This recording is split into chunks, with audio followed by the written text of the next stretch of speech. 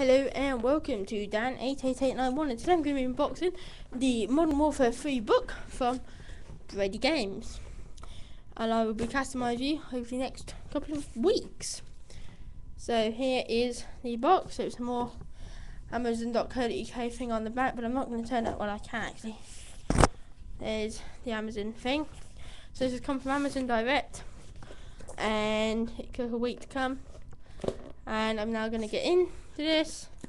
It took five days to come, and I'm now going to flick this thing open and get this open. So let's just tilt my webcam down, and now I've got to find a little circle by me looking at the back. Here we go. So give this a pull. Well, that was a monumental fail. So this ain't easy. So it's just turned off a little bit. Now I'm down to the end. Open up the flap. Pull this part, but I'm going to put that over there. Open these flaps up. Take this out. And we have some paperwork. And I'm going to leave the start of the show till later. We have a receipt. Um, we have a £10 gift voucher for uh, Albelli photo books. And I've also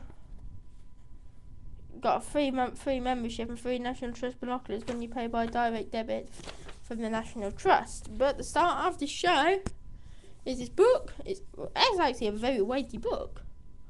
I've got to say it's very, very weighty. Lots of pages. Uh, I'm going to get reading this book. Um, I think obviously it's this was how much was this one? Eight pounds and forty four pence with free shipping. So uh, I'm now gonna get reading this book. Um, you know, it just helps you play Modern Warfare. So I'm gonna get having a look, and I will cast my review next week. Thanks for watching. Please rate, subscribe, and comment.